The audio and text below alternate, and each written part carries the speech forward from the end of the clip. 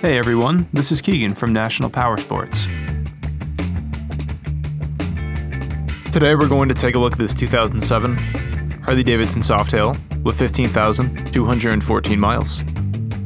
Powered by a 96 cubic inch V twin engine with a 6 speed transmission, the Softail puts out 87 foot pounds of torque at 2,750 RPM. It has a seat height of 28.3 inches and a dry weight of 654 pounds.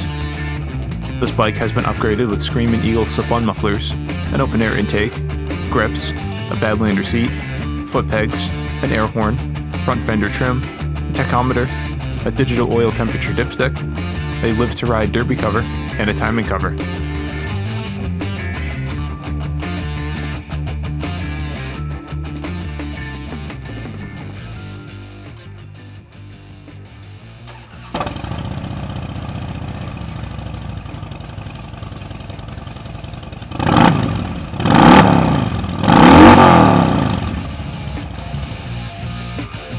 This vehicle has been fully serviced, detailed, and comes with a 30 day nationwide warranty.